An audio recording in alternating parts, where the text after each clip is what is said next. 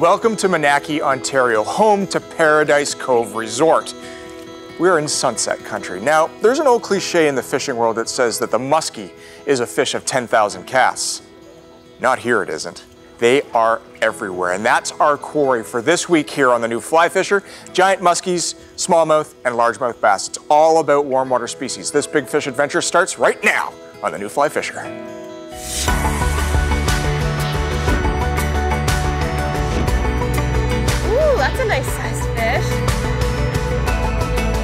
I will catch these all day. That is what you're in for on this episode.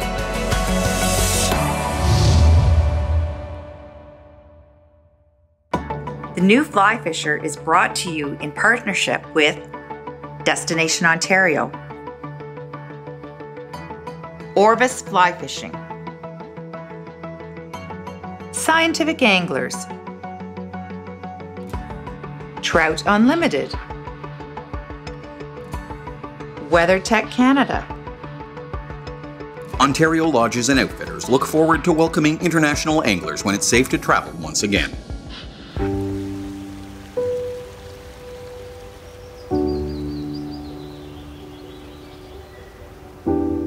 If there's one species of freshwater fish known for challenging anglers, it's muskie. These water wolves often evade even the most experienced fly anglers, but to most, they are well worth the effort. Commonly reaching sizes up to 50 inches in length, landing a muskie can truly be the experience of a lifetime, especially on a fly. You're Just doing check great. your It's gonna, probably going to take off again. When it does, just put that rod tip Yeah. down. Let the run. Let the fish run. Yeah. Okay. Try and gain some line on it, maybe. Stay there, Jim. Fly box is out of your way. Yeah, it's still good. Yeah, keep pulling, keep pulling. Gain some. Gain. Oh, it's going now. It's taking off. Keep hard, hard pressure on it. Yeah, it's good, Jen. You're doing perfect. Yep. Jen is using a 10 weight rod, and it's going to uh, 60 pound mono. I've got six feet of it, and then a 50 pound bite wire. Nice fish. Okay, keep going, nice Jen. fish. Okay, keep it up. Keep the head up. Lift up. Lift Perfect. the rod tip. Okay. Got it. Nice. Oh, That is amazing.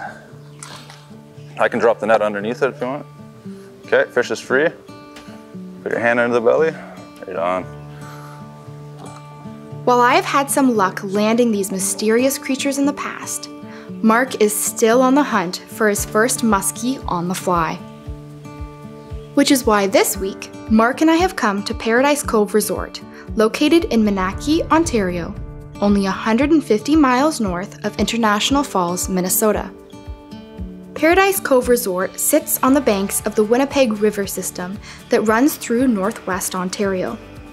This area is known for holding tons of massive muskie, which makes it the perfect location for any angler who dreams of landing one of these epic fish.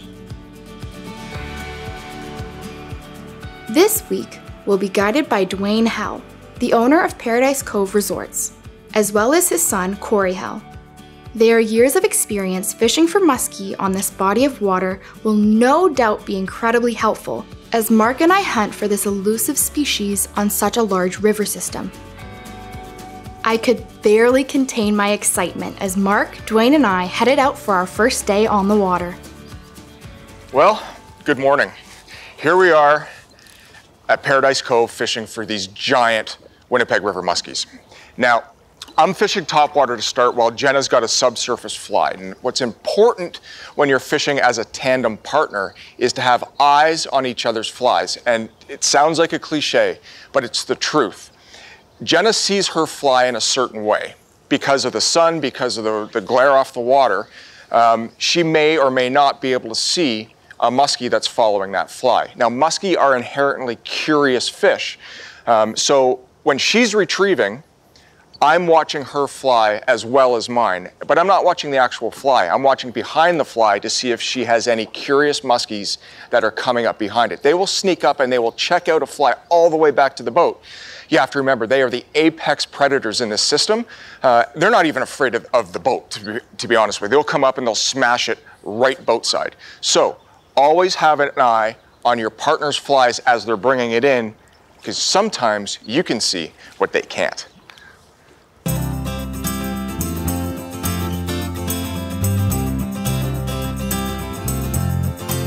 Muskie fishing is a patience game, which isn't easy for any excited angler. Mark and I spent the morning casting, casting, casting, and trying different locations on the river system.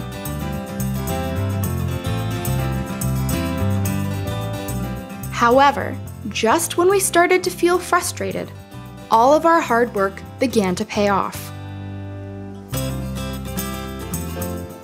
That one just back right out of the water. See those bubbles against the uh, Yep. big back came out of the water. He's on me. Okay, yeah. Oh.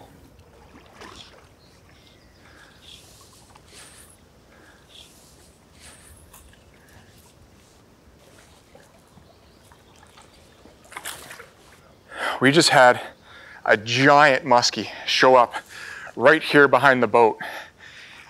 And I put a fly in front of him. Look at this. And uh, he nosed right up to it and opened his mouth just a little bit and then went away. Now the cool thing is, is that muskies are territorial. So based on the moon set, which should happen around noon, we'll come back and uh, throw something maybe a little different at it. Oh my gosh, what an absolute thrill. Just to see an animal that big, it's insane. Ooh. Buck fever, holy lifting.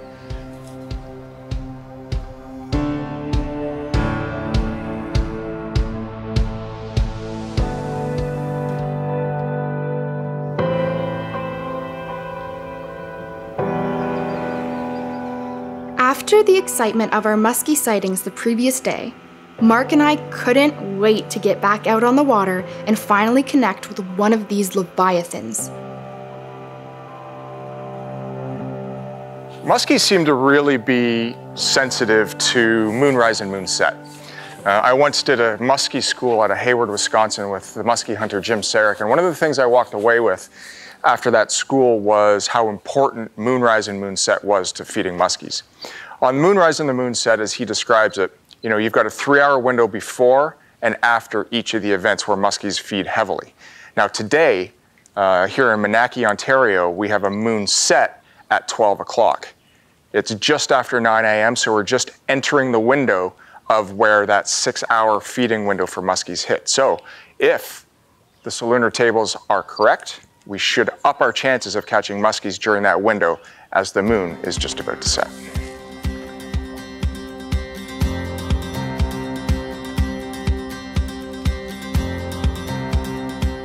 For any angler, having a muskie follow your fly or lure is one of the most exhilarating aspects of this sport.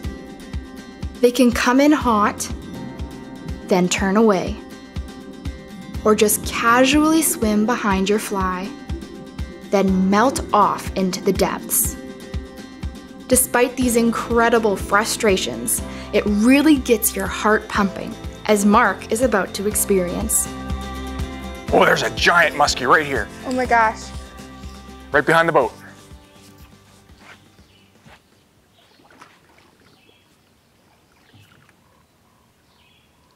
That's a big fish, man. He's gonna eat my fly. Is he gone? Yeah, but he's here. Holy. well, we know where he is. He had a, he went right to the fly. This is a fly. He went right to the fly and went like this.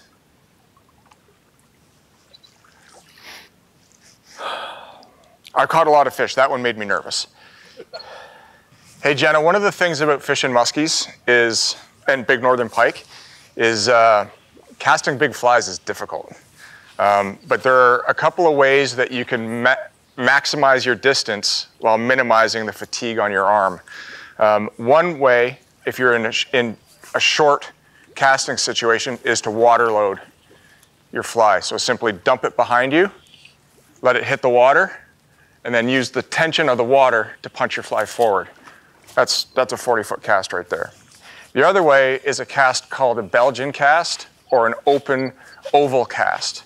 And what that is, is I notice that when you cast, Jenna, you're very much straight up and down, okay?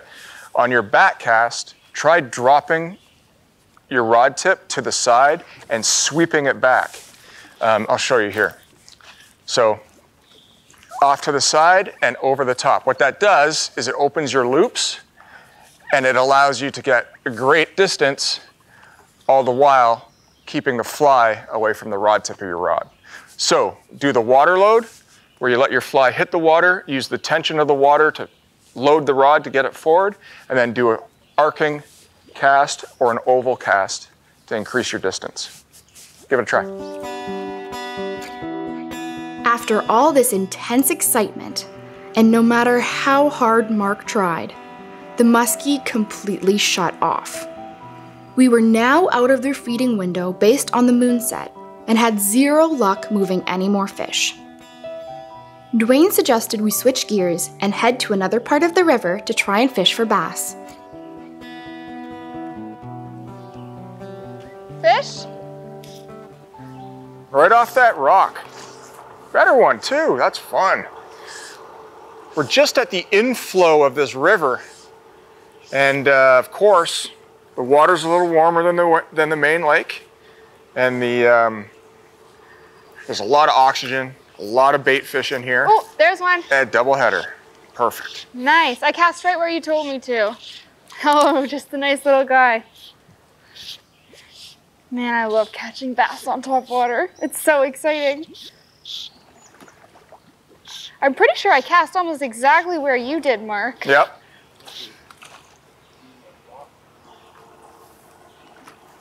So you get with river fish, you know. River fish fight the current their entire lives. Pound for pound versus lake fish, I'll take river fish any day for strength, but not a bad one to start the day.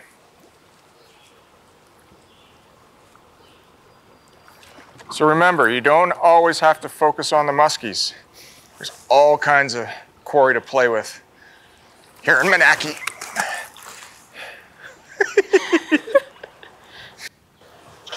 nice fish. Oh. Oh, Want the net on that. Jenna? Pardon me? Would you like the net? Yes, I would. Thank you. If you don't mind to- tossing it back here. I don't have the opportunity to fish river fish this off- often, but man, I forget how well they fight. There we go. There we go. Awesome.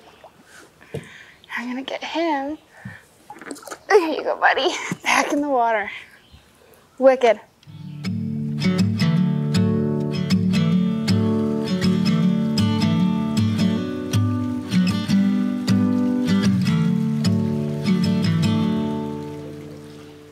Nice. Right off that rock. Good one, Mark. So one of the cool things about fishing out of Paradise Cove is you can target muskie, you can target walleye, you can target smallmouth, which I've got on here now, and you can target largemouth. There's a river near the cove, short drive away. Um, so if the muskie aren't playing along, there's all kinds of things that you can do to, uh, to keep you or your family or your buddies busy. Um, and you cannot ever, ever complain about catching smallmouth bass on poppers. That guy came right out of the water for it. Not a giant, but you know what? Doesn't matter. Smallmouth bass, pound for pound, right? There's a big fish under my fly. It just swam away. That was a massive fish. I, it's probably a pike. For playing. Just so much fun. You come into an inflow of a river. Yeah, nice jump. Oh, that's a Great nice fish. That's what makes smallmouth bass fishing just so electric. And you know what? Anybody can do it. If you can cast your, your fly out 20, 30 feet, it's all you need. Be able to set a good hook and you're into fantastic smallies in Minaki, Ontario. Oh. Nice. Fish the trip so far. Awesome.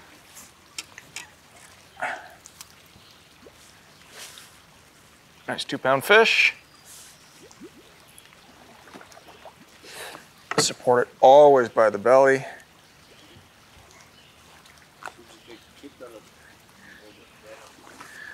There you go. On top water, can't be beat. Not at all.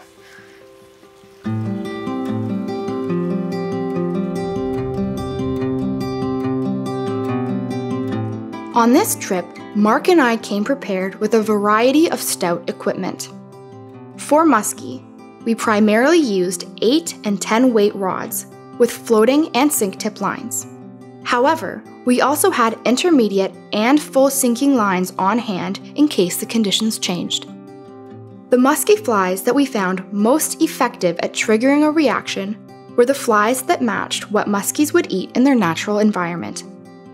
Walleye patterns, blackened chartreuse, or dark green flanks, whitefish or Cisco patterns, white with marabou flash, and big eyes, and of course, big mouthed water moving poppers, creating top water chaos attracting patterns.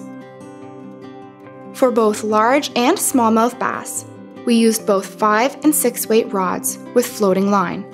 The top water flies we principally used for bass were poppers.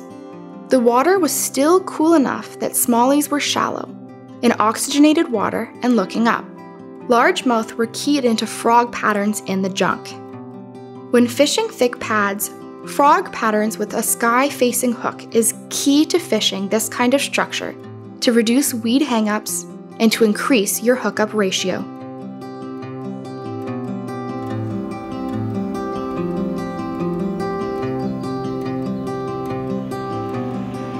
Paradise Cove, we have one, two, three, and four bedroom cabins, some larger than others, some with two baths, some with one bath. Part of them have air conditioning, and uh, we have uh, boat rentals, marina, restaurant for everybody, and uh, we have lots of uh, people come to Paradise Cove for years now. Almost 35 years I've been in business here. Don't have an American plan. We just have housekeeping where everybody takes care of their own cabins. Everything's set up to do your own cooking, coffee pot, microwaves, toasters, everything supplied. And uh, our rates are only 50 a night per person, so people like that. And uh, we have plenty of Americans and Canadians that come and for a weekend, it's only a few hundred dollars, you know, for two people. And the species that are in this lake that you could catch. Three different types of muskies in here. You got hybrid muskies, you got tiger muskies, and you got uh, clear muskies. Um, lots of pike, lots of northern pike, uh, largemouth bass, smallmouth bass, uh, black crappies, uh, whitefish. I mean, they're all over. There's every perch. I offer shore lunch if, if wanted. Um, I usually do like two people minimum in my boat, then, but I do take extras. Um, usually just call ahead of time. Uh, let's find out if I'm open on those days that you want to come, and I'll do the best I can to get you out there.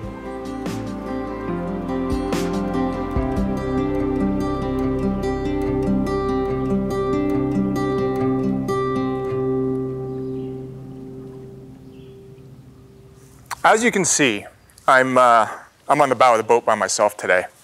Um, one of the things that our viewers tell us that is most important about uh, the content of the new Fly Fisher is that what happens on the water is real. Through failures and successes, uh, we don't pull any punches and we don't not show you when things go poorly or when things go well. Case in point, uh, Jenna's not with me uh, anymore on this trip. She's had a family emergency uh, and her grandmother passed away. Um, so I took the day yesterday and drove her to the Winnipeg airport so she could be with her family. Um, so I'm going to do the rest of the show by myself. Uh, we have a, a, major, a major mantra at the new Fly Fisher that family, that family comes first. So she's pulled the plug, gone to be with her dad and her mom, and uh, we're here to catch some muskies now.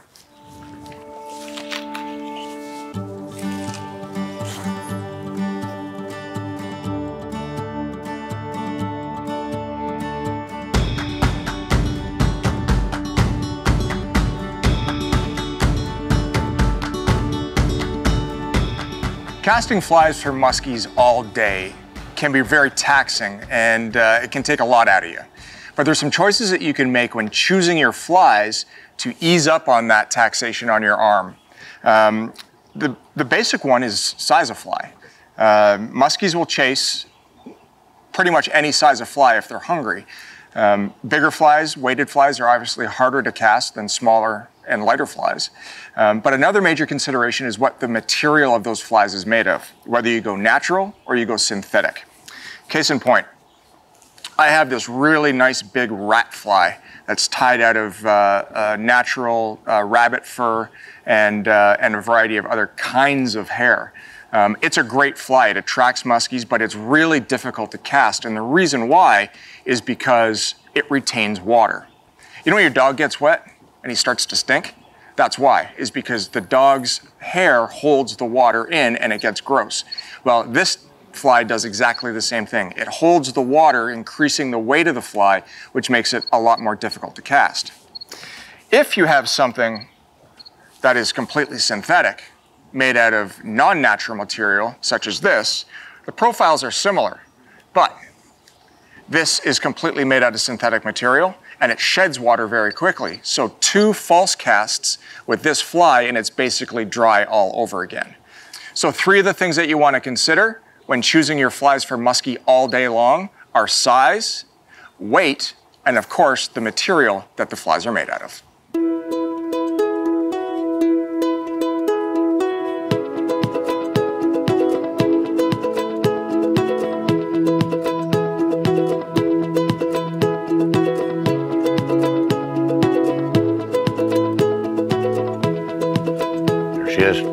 Looking at it. She's still looking at it. She's gonna get it. Figure uh, faster, underwater, faster. After our initial muskie sighting that morning, Corey and I ran out of luck, so we switched gears and headed off to fish for largemouth bass elsewhere on the river system.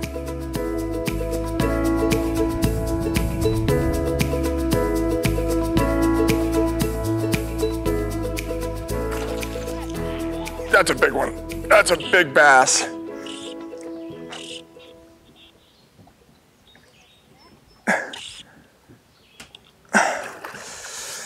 Now he's gonna get himself wrapped up and tangled. I've cut my leader down. There we go, now we're cooking with gas. Oh, that's a good largie and he's barely hooked. Oh. this is one of my most favorite ways to take largemouth bass.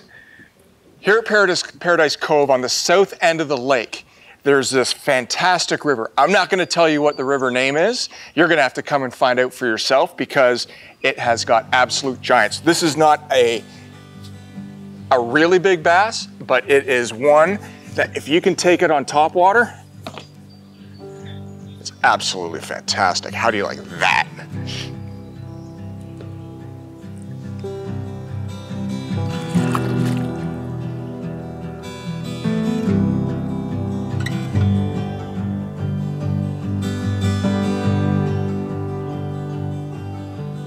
So here's the fly that I'm using on this, uh, for these largemouth bass on this fantastic little creek, this little river. It's a leopard frog pattern. It's got rubber legs and a, uh, a long tail with a little bit of Flashabou in it. But the reason why this works is that, number one, it's an attractor because it pushes water with this, with this front um, nose. Uh, and we're able to fish it in this junk because the hook actually is pointing up. So once the fly lands, you give it a little twitch, often lands on its side, give it a little twitch, it sits upright, and you bring it back slowly, driving these largemouth bass absolutely crazy. Now the way to fish it is basically you're looking for holes. Um, so holes and edges. So if you see a spot where there is a hole um, where there isn't any vegetation, hit it, give it a twitch, fish it back to yourself, and hang on tight.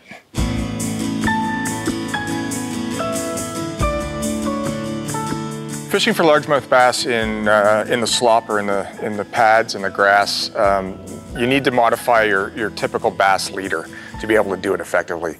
Um, you know, a nine foot bass leader, tapered bass leader, is not going to have the backbone for you to pull these big fish out of, out of sticky conditions. Um, so on a nine foot leader, I generally cut back four or five feet from that leader uh, to where the taper begins on the butt. Uh, then tie that thinner section on um, to your fly. That gives you the stoutness and the ability to pull those fish out of the out of the weeds that you need. If you don't, you're just going to break your leader off and um, lose your fly.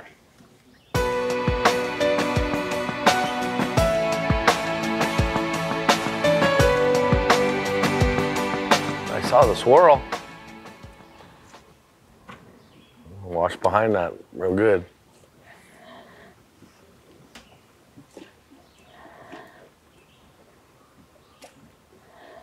There it is. Oh, it is a baby muskie. Yeah, You got it. We got it. it's a little male. Baby muskie, how fun is that? Little male. Yeah, that was a little hybrid. Well, Corey said, let's switch back to the uh, Blue. to the black bug. Well, despite our best efforts, we were unsuccessful in landing a muskie on fly. As experienced muskie hunters will tell you, that's part of the pain and the pleasure you derive from this incredible species.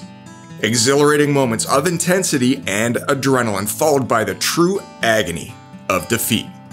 Yet, for illogical reasons, we keep coming back to great locations like Paradise Cove Resort to try and successfully hunt this ultimate game fish, because it's not easy.